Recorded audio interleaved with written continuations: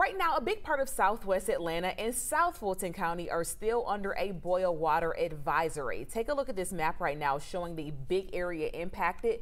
This goes from MLK Junior Drive south of I-20 to the cities of Fairburn, South Fulton, Chattahoochee Hills, Palmetto, and Union City. So if you don't have water or maybe you have low water pressure, you are being urged to boil that water before using it. This is all tied to a failure at the Adamsville pumping station. Right now, there is no timetable for when that advisory will be lifted.